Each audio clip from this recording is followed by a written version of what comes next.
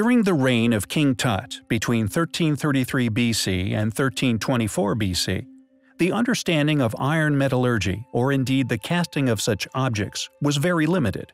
Iron smelting is the extraction of usable metal from oxidized iron ores. It is vastly more difficult than smelting tin and copper. Such metals could be cold worked in simple pottery kilns and then cast into molds, a process largely accepted as being present within ancient Egyptian times. However, the smelting of iron requires hot working and can only be melted in specially designed extremely heated furnaces. It is therefore not surprising that humans only mastered iron smelting after several millennia of the Bronze Age. However, there is a pair of relics found within ancient Egypt whose sheer existence disprove the officially held chronological account of when these hardened metals were developed. Or do they?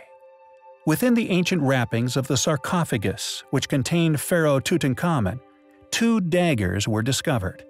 Encased in gold sheaths, they were placed there more than 3,000 years prior. One had an iron blade, and the other with a blade made of hardened gold. Yet both are not made from regular metals. Amazingly, these daggers are in fact made from metals not native to Earth.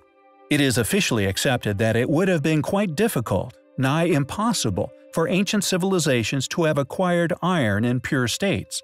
So most of the pure iron found in weaponry within this mysterious culture are academically accepted as coming from quote, meteoric sources. This explanation may be easier to digest for the majority of population of Earth.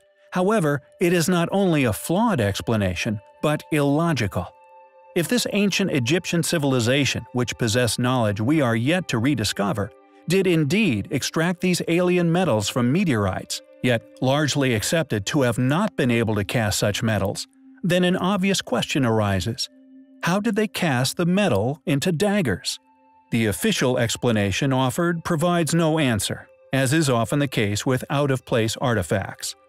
A more logical scenario is that these daggers were in fact the remnants of a far older civilization, a civilization responsible for the construction of ancient Egypt, a group of people visited by, or indeed traveled to, people from another world entirely. Additionally, Modern advanced metallurgical analysis found that the iron dagger is not a normal meteoritic iron, but a complex, intelligent, and very strong alloy, containing various amounts of nickel, chromium, and cobalt. Furthermore, the nickel content is so high, nearly 25%, it makes this alloy totally different from those made by man. The alchemy required to make such a non-rusting metal was developed many centuries, if not millennia, after King Tut's death. Just where did these daggers come from? How old could they actually be?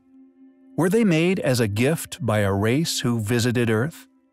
Apart from our postulations, it seems no one can produce a working theory.